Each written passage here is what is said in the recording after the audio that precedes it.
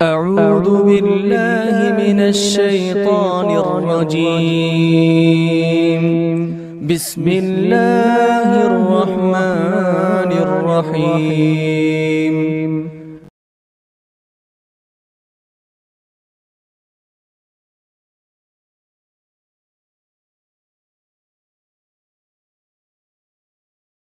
بسم الله الرحمن الرحيم. الحمد لله رب العالمين.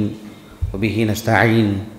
وصلى الله وسلم على سيد الأنبياء والمرسلين وعلى آله وأصحابه أجمعين ومن تبعهم بإحسان إلى يوم الدين أما بعد. صبح شام کی جو دعائیں ہیں ان دعاؤں میں سے ایک اہم دعا کی ابھی شرح ہوگی۔ اللهم إني أسألك العفو والعافية في الدنيا والآخرة کئی مسلمان صبح و شام اس دعا کا اہتمام کرتے ہیں۔ اس کا معنی مفہوم انشاءاللہ ابھی اس نشست میں ہوگا بإذن اللہ تعالی۔ یہ جو دعا ہے، جس حدیث میں ثابت ہے، امام ابو داود رحمہ اللہ اپنی السنن کی کتاب الادب میں، جیسے کہ میں اس سے پہلے والی نشستوں میں بھی کہا کہ امام ابو داود رحمہ اللہ کی جو مستقل کتاب ہے، کتاب الدعا وہ مطبوع ہے یا نہیں، یہ نہیں معلوم۔ لیکن حافظ ابن حجر الاسقلانی رحمہ اللہ نے تہذیب التہذیب میں اس کا ذکر کیا ہے۔ لیکن امام ابن ماجہ امام ابو داود رحمہ اللہ اپنی السنن کی کتاب الادب میں صبح و شام کی کافی دعائیں نقل کی ہیں۔ حافظ ابن ماجہ، امام ابن ماجہ رحمہ اللہ اپنی السنن میں تو مستقل کتاب الدعا ایک کتاب ہے۔ اس میں بھی اس حدیث کو لے کر آئے ہیں۔ اللہ کے رسول علیہ السلاۃ والسلام کہ ایک صحابی عبداللہ بن عمر ابن الخطاب رضی اللہ عنہما، وہ کہتے ہیں کہ لم یکن رسول اللہ صلی اللہ علیہ وسلم يدع هؤلاء الدعوات حين يمسي وحين يصبح کہ ہر شام، ہر صبح آپ علیہ السلاۃ والسلام اس دعا کو کبھی ترک نہیں کرتے تھے، کبھی چھوڑا نہیں آپ نے، کبھی یہ دعا فوت نہیں ہوئی آپ سے۔ یعنی اہتمام کرتے تھے اس دعا کو صبح و شام پڑھنے میں۔ صبح کو بھی اس دعا کو پڑھتے، شام کو بھی اس دعا کو پڑھتے۔ رسول اللہ صلی اللہ علیہ وسلم، کبھی یہ دعا فوت نہیں ہوئی آپ سے۔ وہ دعا کیا ہے؟ اور یہ حدیث سندن صحیح ہے، شیخ البانی نے صحیح کہا اس حدیث کو۔ وہ دعا کیا ہے اللہم انی اسألک العفو والعافیت فی الدنیا والآخرہ۔ اللہم انی اسألک العفو والعافیہ فی دینی و دنیایا وأهلي ومالي اللهم استر عوراتي وآمن روعاتي اللهم احفظني من بين يدي ومن خلفي وعن يميني وعن شمالي ومن فوقي وأعوذ بعظمتك أن أغتال من تحتي یہ پوری دعا ہے جو آپ علیہ السلام اہتمام کرتے تھے صبح کو اور شام کو پڑھنے میں۔ اس حدیث کا معنی مفہوم کیا ہے وہ بھی بتاؤں گا آپ کو انشاءاللہ۔ لیکن پہلے یہ معلوم کر لیں کہ بحیثیت ایک انسان عافیت کی کتنی ضرورت ہے۔ عافیت کی کتنی ضرورت ہے ہم کو؟ یعنی جسمانی صحت کے اعتبار سے ہم جو باہر آتے جاتے ہیں، گھر میں رہتے ہیں، اللہ تعالیٰ ہمیں صحت دے، عافیت دے، بچائے رکھے ہر طرح کی شر سے کتنی ضرورت ہے انسان کو؟ سنن ترمیزی میں ایک کتاب ہے، ابواب الدعوات۔ اس میں عباس ابن ابن ابن عبد المطلب یعنی اللہ کے رسول کے چچا عبداللہ بن عباس نہیں عباس بن عبد المطلب وہ کہتے ہیں کہ میں نے آپ علیہ السلام والسلام سے پوچھا کہ یا رسول اللہ علمنی شیئن اسأل اللہ عز و جل یعنی مجھے کچھ ایسی کلمات سکھاؤ کہ میں اللہ سے دعا کروں اللہ سے مانگوں آپ علیہ السلام نے کہا کہ صلی اللہ العافیہ تم بس اللہ سے عافیت مانگتے رہو تو عباس ابن عبد المطلب کہتے ہیں رضی اللہ عنہ، مکثت یومن کچھ دن ایسے ہی رہا میں۔ یہی دعا پڑھتا رہا، لیکن بے چینی تھی کہ مجھے اور بھی کچھ چاہیے۔ پھر میں آیا اللہ کے رسول کے پاس۔ پھر اللہ کے رسول سے کہا کہ، یا رسول اللہ، علمنی شیئن اصر اللہ عز و جل۔ کچھ سکھاؤ نا مجھے کہ میں میں اللہ سے کچھ مانگوں، سوال کر لوں۔ تو آپ علیہ السلام نے فرمایا کہ، یا عباس یا عباس یا عمی رسول اللہ صلی اللہ العافیت فی الدنیا والآخرہ کہا کہ پہلی مرتبہ بول دیا تھا نا آپ کو، تو اور تاکید سے کہا کہ یا عباس، اے اللہ کے رسول کے چچا، دنیا اور آخرت میں اللہ سے عافیت مانگو، یہی کرو آپ۔ ایسے کہا اللہ کے رسول نے، صلی اللہ علیہ وسلم، کیونکہ اتنی بڑی چیز ہے۔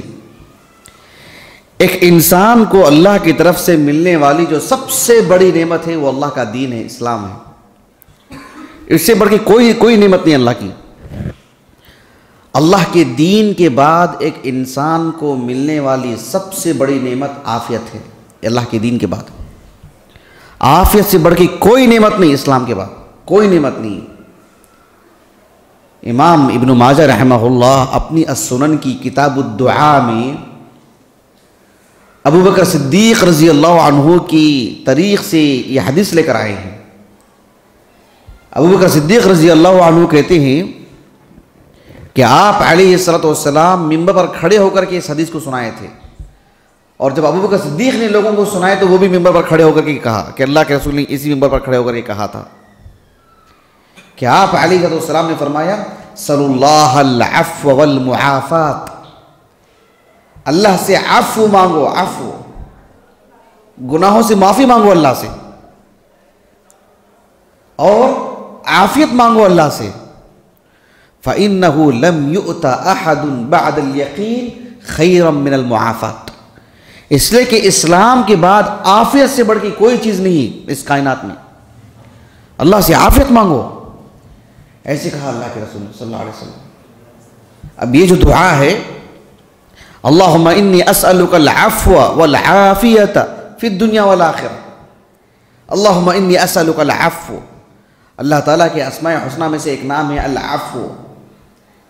العفو کہتے ہیں یعنی گناہوں کو معاف کر دینا، ایسے معاف کر دینا کہ اس کے اثرات بھی نہ رہے، اس کا بقایا بھی نہ ہو، پھر کوئی چیز ہی نہ رہے۔ یعنی مکمل طور پر پوری طرح سے معافی۔ اللہ سے کہا کہ اللہ سے گناہوں سے معافی مانگ لو۔ اور اللہ تعالیٰ العفو ہے۔ معاف کر دے گا تو پوری چیز صاف ہو جائے گی۔ اثرات بھی نہیں رہیں گے اس پر۔ والعافیہ فی الدنیا والآخرہ دنیا اور آخرت میں اللہ تعالیٰ سے عافیت۔ دنیا میں آپ دیکھو، انسان چھوٹے موٹے کام کے لیے یہاں سے تھوڑی دیر کے لیے گاڑی میں جاتا ہے، گویا کہ حادثات کا حادثات کے درمیان میں جا رہا ہے وہ۔ پل پل کب کیا ہو جائے نہیں معلوم۔ گھروں میں رہتے ہیں۔ کیا کیا حادثات کی چیزیں ہیں؟ کب کیا حادثہ ہو جائے؟ کون سا بڑا دھماکہ ہو جائے؟ ہر گھر میں گیس سلنڈر ہوتا ہے۔ روزانہ جی رہے ہیں، اس کے بغیر چارہ نہیں۔ بس عافیت چاہیے۔ اللہ عافیت سے رکھا ہے پوری کائنات کو۔ جو اس پر ایمان لائے ہیں، ان کو بھی، جو ایمان نہیں لائے ہیں، ان کو بھی۔ کتنی چیزیں ہیں جو انسان کو نقصان پہنچاتی ہیں۔ رسول اللہ صلی اللہ علیہ وسلم نے فرمایا، اللہم انی اسألک العافیت فی الدنیا والآخرہ۔ اللہم انی اسألک العفو والعافیہ فی دینی و دنیایا۔ کہ اللہ میرے دینی اعتبار سے بھی۔ ایسا نہ ہو کہ میں دینی اعتبار سے جذبات میں آ کے کچھ کر لوں، پھر خاموش بیٹھ جاؤں۔ کتنے لوگوں کو دیکھتے ہوں کہ جب دیکھتے ہیں کہ معاشی اعتبار سے کمزور ہیں، پریشان ہیں، تو مسجدوں میں دکھائی دیتے ہیں، پھر غائب ہو جاتے ہیں۔ ذرا سا معاملہ ٹھیک ہوتا ہے تو۔ پریشانی آتی ہے تو مسجد میں نظر آتی ہے پھر غائب ہو جاتے ہیں۔ کتنے لوگ ہیں جو دعوت و تبلیغ کا نشہ لے کے آتے ہیں۔ چھوٹی موٹی باتوں کی وجہ سے اس میدان کو ہمیشہ کے لیے چھوڑ کے چلے جاتے ہیں۔ کتنے لوگ ہیں دینی تعلیم پڑھنے کے لیے یکسوئی دکھاتے ہیں، سنجیدگی دکھاتے ہیں۔ پھر پل بھر میں وہ سنجیدگی فوت ہو جاتی ہے ان میں۔ کچھ اہتمام کرتی ہیں دینی اعتبار سے، پھر دو دن کے بعد وہ اہتمام ختم ہو جاتا ہے۔ جذبات میں آ کر کے کچھ کچھ قرآن کے کچھ صفحے پڑھ لیتے ہیں، پھر پھر پھر جذبات ختم ہو جاتے ہیں۔ یہ بہت بری بات ہے۔ دینی اعتبار سے آفیت کی کمی ہے۔ اور دنیاوی اعتبار سے آفیت انسان کے لیے صحت ہو، گھر میں آفیت ہو، باہر آفیت ہو حوادث سے بچائے رکھے اللہ اس کو۔ فی دینی و دنیا اسی لیے ہمیں دعا سکھائی گئی۔ ربنا آتنا فی الدنیا حسنا وفی الاخرت حسنا وقنا عذاب النار۔ رسول اللہ صلی اللہ علیہ وسلم کی وہ دعائیں جو آپ نے زندگی میں بہت پڑھا ہے، بہت پڑھا ہے، ان میں سے یہ بھی ایک دعا، ربنا آتنا فی الدنیا حسنا انسان کو دین چاہیے اسلامی تعلیمات کا کوئی بھی حصہ ایسا نہیں ہے جو ہمیں دنیا میں پیچھے رکھے۔ ہرگز بھی نہیں۔ ہم سمجھتے ہیں ایسے۔ ہم سمجھتے ہیں دنیا کی ترقی میں دین رکاوٹ بن رہا ہے۔ نہیں، دین دین دین معاون بنتا ہے دنیا کی ترقی میں۔ دینی اعتبار سے آدمی کے لیے زیادہ راستے کھلتے ہیں۔ فی دینی و دنیا و اہلی و مالی۔ اللہ تعالیٰ سے اپنے اہل و عیال کے لیے عافیت۔ اپنے ماں باپ کے لیے، اپنی بیوی بچوں کے لیے، ایک چھت کے اندر، ایک چھت کے نیچے رہنے والوں کے لیے اللہ سے عافیت مانگنا، پل پل۔ تکلیف ان کو ہوتی ہے اور درد ہمیں ہو، ہمیں محسوس ہوتا ہے۔ گھر کا ایک فرد بیمار پڑ جاتا ہے، پورے گھر کا سکون جو ہے تقریباً ختم ہو جاتا ہے۔ تو اللہ کے رسول کی دعا دے گی کیسی ہے؟ صلی اللہ علیہ وسلم۔ وہ اہلی و مالی اللہ میرے مال کو بھی آفیت عطا فرما یعنی میرا مال تلف نہ ہو جائے۔ کوئی مجھ سے قرض تو لے لیا ہے لیکن واپس نہیں کر رہا ہے۔ میرا مال کہیں چوری ہو جا رہا ہے۔ کہیں میری چیز کوئی جو فاسد ہو گئی، خراب ہو گئی، ابھی کام کی نہیں رہ گئی یعنی گھر کا چھوٹا موٹا جو بھی مال ہے، اس کو بھی اللہ حافظ عطا فرمائے، یہ دعا سکھائی جا رہی ہے۔ یعنی ہر دن صبح میں ہم دعا کر رہے ہیں ہمارے مال کے لیے بھی، کہ اللہ ہمارے مال کو بھی آفیت عطا فرما۔ دیکھیں ہم کتنے پریشان رہتے ہیں، کتنی آسانی سے ہم اس معاملے کو نمٹ سکتے ہیں، دیکھیں۔ اللہ مستر عوراتی اے اللہ میری جو عورت سے مراد مرد عورت، وہ عورت نہیں۔ یعنی میرا جسم، میرا بدن۔ مرد کی عورت کیا ہے؟ اس کی ناف سے لے کر کے اس کی گھٹنوں تک کا حصہ۔ وہ تو واجبات میں سے چھپ کر ہی رہنا ہے۔ پھر جتنا جو ہے زیادہ اس کے بدن پر لباس آئے گا، اتنا زیادہ حسن ہوگا اس پر۔ اس کے لیے وہ چیز جو ہے زیادہ بہتر رہے گی۔ نماز پڑھنا ہے، کندھے کھلے نہیں رہ سکتے، ایک مرد کے بھی۔ کندھے چھپے اور ڈھکے رہنے چاہیے۔ لیکن جو ہی کسی وجہ سے ہمارے بدن سے کچھ کپڑا نکل جاتا ہے، یہ ہمارے لیے عیب کی بات ہے، بری بات ہے۔ اور خاص کر اگر ایک خاتون کی بات کرتے ہیں، تو معاملہ بڑا ہو جاتا ہے۔ مرد کے مقابلے میں عورت کو عورت اس لیے کہتے ہیں کہ وہ سر کے بال سے لے کر پیر تک عورت ہے وہ۔ یعنی مرد مرد جو ہے، مرد کی عورت کیا ہے؟ اس کے ناف سے اس کے گھٹوں تک۔ جبکہ عورت عورت کے لیے پھر عورت کی بات نہیں ہے، وہ سراپا عورت ہے۔ اوپر سے لے کر نیچے تک۔ تو اللہ مستر عوراتی تو مرد کے ساتھ ساتھ ایک عورت کا معاملہ زیادہ سنگین ہو جاتا ہے۔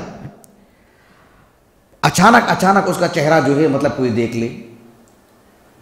یا جو ہے مطلب آج جس دور میں ہم جی رہے ہیں فیس بک کا دور ہے واٹس ایپ کا دور ہے، چوک ہو جائے، غلطی ہو جائے، کسی کی تصویر چلی جائے، کوئی کسی کو دیکھ لی یہ معاملہ سنگین معاملہ ہے، بہت سنگین معاملہ۔ تو صبح شام اللہ سے دعا کی ضرورت ہے کہ اللہ ہماری عزت کی، آبرو کی، ہماری جو ہے شخصیت کی حفاظت فرما۔ کہ میرے سطر کی حفاظت فرما۔ ایک معروف صحابیہ ہیں اور بہت ہی مشہور قصہ ہے۔ صحیح بخاری میں کتاب الطب وغیرہ میں ان کی ان کی حدیث ہے۔ کتاب و بدل خلق میں مختلف جگہوں پر کہ اللہ کے رسول علیہ السلط والسلام کی ایک صحابیہ، انہیں ایک مرض تھا جس کی وجہ سے وہ بدحال ہو جاتی اور گر جاتی تھی۔ اللہ کے رسول سے جب انہوں نے یہ بات رکھی اللہ کے رسول کے سامنے صلی اللہ علیہ وسلم، تو آپ نے فرمایا کہ میں آپ کے لیے دعا کر دوں تو آپ کے لیے یہ چیز ختم ہو سکتی ہے یہ بیماری۔ لیکن صبر کر لیں تو تمہارے لیے جنت ہے۔ تو اس خاتون نے کہا کہ میرے لیے جنت چاہیے، صبر کر لوں گی میں، لیکن اس مرض کی وجہ سے جب میں گر جاتی ہوں تو میرا سطر جو ہے تھوڑا ہٹ جاتا ہے۔ اس کے لیے آپ دعا کیجیے کہ میرا سطر جو ہے نہ ہٹے۔ اللہ اکبر، کتنا خیال رکھا انہوں نے۔ یہ معمولی بات نہیں اپنے سطر کی حفاظت کرنا۔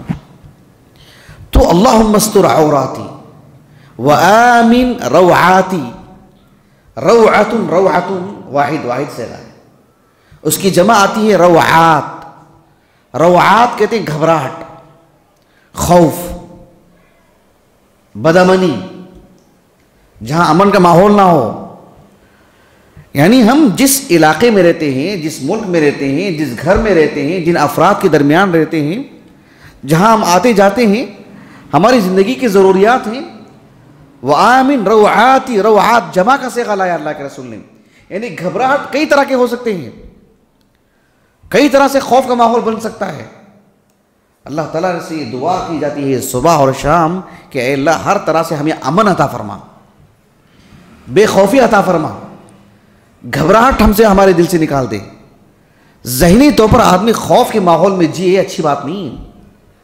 وہ آمن روحاتی۔ اس کی بات دیکھو اللہ محفظنی من بین یدی ومن خلفی وعن یمینی وعن شمالی ومن فوقی۔ کہ اے اللہ، ہر طرح سے میری حفاظت فرما۔ میرے سامنے سے کوئی مجھے خطرہ نہ ہو، پیچھے سے خطرہ نہ ہو، دائیں بائیں سے خطرہ نہ ہو۔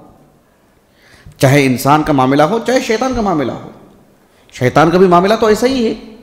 صورت العراف میں اللہ تعالیٰ نے کہا، ثم لآتینہم من بین ایدیہم ومن خلفہم وعن ایمانہم وعن شمائلہم ولا تجد اکثرہم شاکرین شیطان بھی ہر جہت سے انسان کو گمراہ کرنے کی کوشش کرتا ہے اور خود انسانوں سے، جانوروں سے، دیگر جو تکلیف دینے والی چیزوں سے، یا ہم جا رہے ہیں سامنے سے، کوئی کوئی کوئی خطرناک چیز رکھی ہوئی ہے، ہم کو لگ جائے۔